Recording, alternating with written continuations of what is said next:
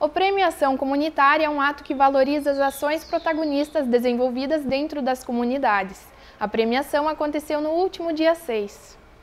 A promoção, atualmente em sua nona edição, é uma iniciativa da Rádio Super Condá em conjunto com a UNO Chapecó e a Caixa Econômica Federal. A atividade valoriza as ações dentro das comunidades. Este ano, seis ações foram homenageadas. R$ 1.500, mais menção honrosa, foram os prêmios distribuídos aos vencedores. O objetivo do Prêmio Ação Comunitária é reconhecer esse trabalho que os nossos voluntários realizam em Chapecó. Reconhecer as suas ações, ao mesmo tempo que incentivar que essas ações sejam ações coletivas, uma vez que a ação coletiva ela tende a ter maior sucesso, maior resultado para a comunidade. A possibilidade da universidade se inserir em ações que estão voltadas ao desenvolvimento das pessoas acima de tudo. Né?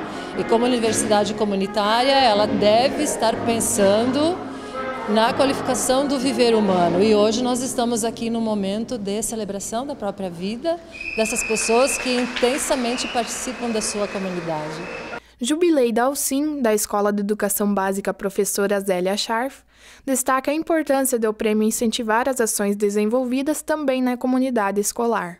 Premiado na categoria escola, onde a nossa escola, dentro do projeto político-pedagógico, é a inclusão social e através de uma mostra cultural, num pequeno gesto, uma pequena ação desenvolvida na escola, teve esse desempenho enorme dentro da comunidade escolar, onde os nossos alunos desenvolveram várias atividades artísticas, sendo ela música, dança, escrita, para Aldemar Danelli, membro da comunidade homenageada Colina do Sol, o prêmio potencializa o valor do município de forma geral.